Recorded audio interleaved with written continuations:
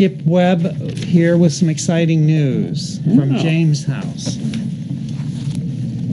James House is always exciting, isn't You it? hit the lottery. Yeah. Good evening. Well, this is this is more exciting, I think, than anything that I've reported to you the, the uh, 14 years of my activity. Um, first, want to thank you for uh, giving me this appointment, but even more so the appointment that you gave me in September. Uh, your backing unanimously of the LCHIP grant meant a lot in our obtaining that grant. Um, we didn't get all the money that we were expecting. Uh, we asked for money to uh, put siding on the house, to restore all the windows, uh, to restore all the floors, and to put a back staircase in. And that would also be a restoration. There is, is a back staircase, but you can't walk on it. What we've gotten is a $28,000 grant. That means we will be spending $56,000 because it's a matching grant. We'll be spending 28000 of our own money. You look as though you have a question. That's exciting. No, that's- you, you made me happy. We'll have plenty Uh, of this will allow us to put siding on the entire outside of the house and also restore all the windows in the house. Will also allow us to add a handicap door so that the handicap can see what the first floor is like. We still can't get them up to the second floor. And the little L that doesn't have any windows in it, it will have windows in it again. So, what has looked like a bad piece of real estate that everyone is laughing about because it's covered over with plywood is going to look like one of your pristine pieces of real estate. We have two years to do the restoration. The uh, carpenter, our master carpenter, is going to be Bob Pothier. He's worked on the house since the beginning of it being uh, termed as a, as a museum and from the start of the restoration. He is considered as one of the best master carpenters in New England.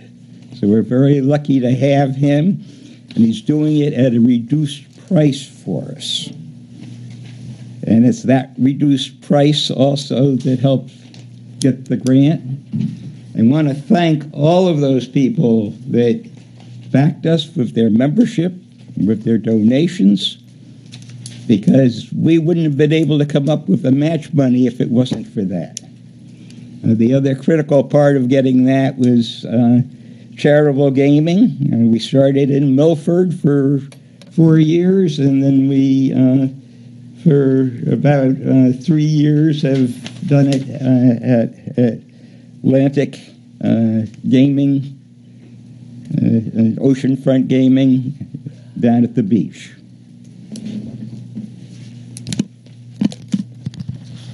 We are asking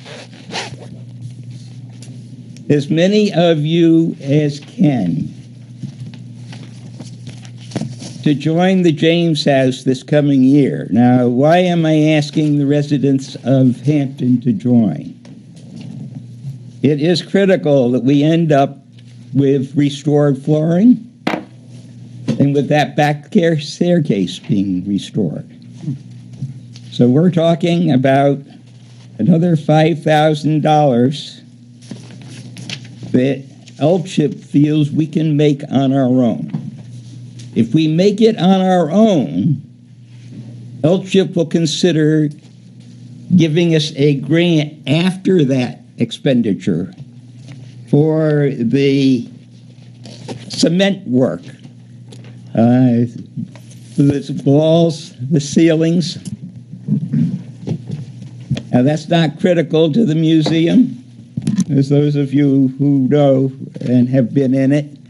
Um, but it would clean it up a little bit. You wouldn't have the holes in the ceiling with the uh, mess coming down from the from the rodents, the squirrels, and the and the mice.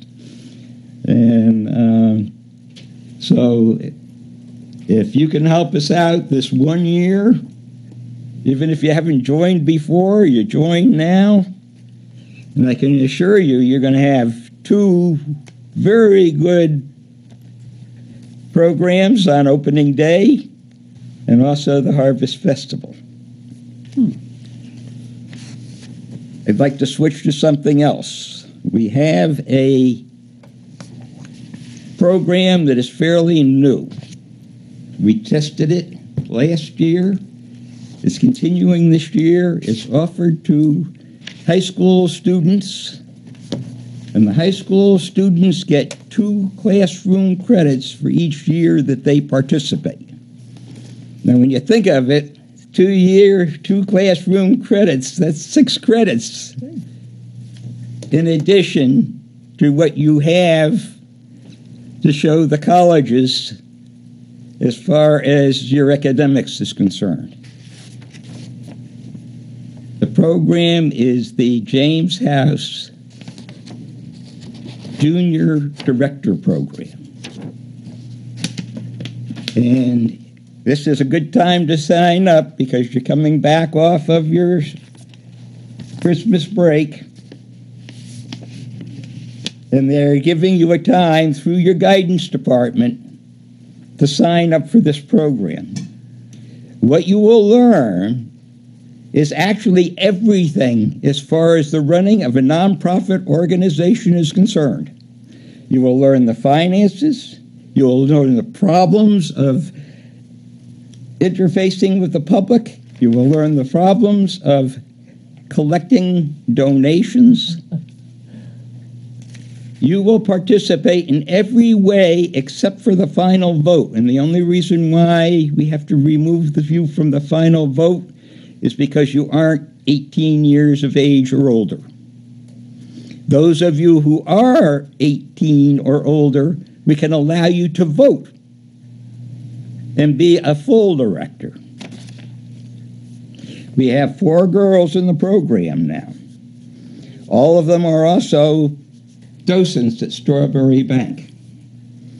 I got a call from Stanford, uh, sorry, from Stanford, from Portsmouth High School.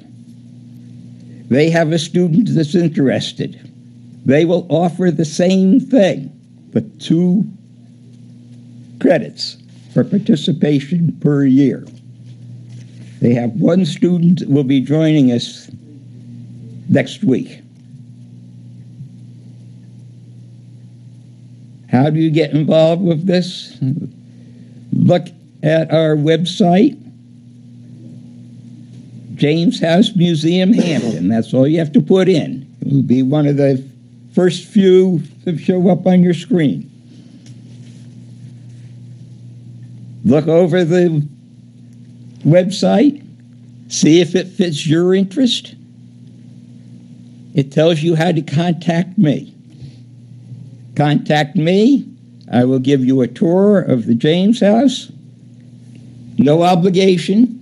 It's just to make sure that you are comfortable with what we're asking you to do. We'll discuss the whole program with you. Why And don't we bring that to the Board of Selectmen and let them ask you some questions? We have Mr. Waddell here. He was a teacher. Mm-hmm. Do you have any questions? Uh, no, great job, uh, Skip. Great job in getting the grant. Great job with that program. I think it's super. Uh, I, I think you're doing everything really, really well down there. And, you know, it's a really great endeavor for the town, and, and it's just part of the history. It's super. Mr. Bridle? Well, I drive by that place at least once or twice a day. Uh, it, it's good to see how well you have been a caretaker of that property. You've done an excellent job. I do got to say, you, you got to go over and check the shed because the door's blown open. I got that today. Okay. but you guys do an excellent job. Uh, all, all your board of directors. I, I know, I see them over there, and I see you're in there taking care of the property, the grass, the, the stuff. You, you have done an excellent job over the years of taking care of that property. Congratulations on your grant. Uh, I'm glad to see you have the junior director program. I think that's a great opportunity for students, and uh, hopefully you'll you'll get a few more from just listening tonight. So thank you. Yeah, Skip has been joined with a lot of people over there helping and People like Ann Kaiser's another one, big one that's really worked hard there through the years, and I think this is wonderful. We really owe it, and to think you're sharing it all with the school, it's amazing. It's really great. Ann Kaiser is actually one of our prime Charter people. members, yeah. She, she helped to forward the organization tremendously. She's very active. Mrs. Woolsey. It's just, it's amazing what you've done with that historic property. Would you like to tell the visitor, the uh, viewers who are watching what the annual membership is? How much is the annual membership? Uh, the annual membership is forty dollars per family. It's twenty-four, sorry, twenty-five dollars per individual. It's uh, ten dollars per student, That's certainly reasonable. and um, even though we don't have a business category, when you re- look at the categories, business categories really start at one hundred dollars. And if people want to mail you a check or ask you for a membership, where would they send? They send it to the James House Association, Inc., Post Office Box 234, Hampton, New Hampshire, 03842. Right, piece, post office box two thirty-four. Great. And what happens, um, Skip, if the people uh, joined last year? Do you send out notice that they need to pay up again this year, or what? How does that work? Yes, uh, we send out a newsletter that explains everything that's happened during the past year and what we're expecting to do in the coming year. So when do Uh, that people? newsletter also includes an insert for uh, reapplying for membership. So when people joined last year, when is their membership due to be- be for this year? Uh, they will receive that in uh, in June, Okay, and that's when they would be so forwarding their checks. So a lot of people are already. A already lot of paid people, up until June. though, uh, hold it off. Uh, Some people give it to us, and Mhm. it's, uh, throughout the year good. Yeah. we'll collect memberships. Yeah, so you know, a lot of people might be waiting till pay it after the first of the year, so they get credit on their uh, charitable giving exemptions for right. next year. Uh, your membership is 100% charitable donation. So um, that's another thing to think about. Thank you, Rick, for reminding me of that. You can take Uh, the, the I amount believe I, jo- I know I joined taxes. last year, and um, that's why I wasn't really sure of when I owe. I'm always owe somebody something, so I guess I'm okay till June, but I'll be glad to pay it early. Mr. Bean, I have no questions. Thank you for a great job, Mr. Um, Webb. do you have any other points to make tonight, Skip? Yes, I have one uh, very important point, and that is, um, as you know, I've served as president of the association for many years.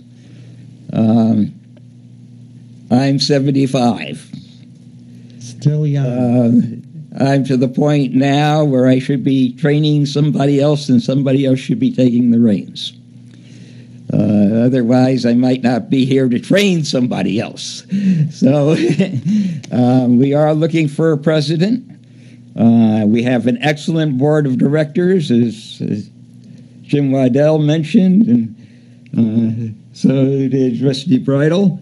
Um, yeah, Rusty, you'd be a great president. The nomination. Thanks. I think you do a wonderful job, Rick. So we are looking for a new president. Um, the board is, uh, though the, even though they're a wonderful board, uh, no one on the board wants to accept that responsibility. Uh, they are they are doers and, and idea people, but they they don't want the the burden of the responsibility of the property and uh, and the programs. Sounds like you better stay healthy, Skip. uh, the president does not have to be a Hampton resident. Uh, we have uh, two uh, directors now, one from Dover and one from Northampton. Um, Northampton one has been a director, it actually was a president for uh, for two years, and that's Bob Dennett. Uh, he's still with us. He is the longest serving member. So if anyone is interested, look at the website again. See if you're comfortable. Contact me. Send me your resume. I'll pass it to the directors, and uh, hope we can find a replacement early enough so that I can uh, have uh, time to train the person. I will be staying on as a director if the membership allows me to, which I think they will, uh, until uh, the new president is fully trained. Well, I think I can speak for the board here and assure you that we'll all bring it to, if we meet anyone that we think will be interested, we'll be glad to tell them about it. So thank you Super. tonight for coming in. You've done a lot. We appreciate it. Finding something one too has a lot to do with uh, how long the association runs the museum before it passes to the historic society. We know that they don't want it. It's really a pass to you people. So. Okay, well, great. Thanks, Skip. mhm. Mr. Chairman? Yes? Uh, sometimes uh, re- nice reporters are looking for human interest stories and special stories. So you might have a member of the media uh, contacting you, perhaps, and get a little publicity out. Mhm. Matter Thanks of for fact, coming that in tonight, Skip. Behind us, and he's going to be talking to me tomorrow about another thing. And he heard this tonight, so I'm sure he'll be talking to me about it. Thank you so much for Thank coming. you, Skip. We appreciate Thank it. you. Thanks, Skip.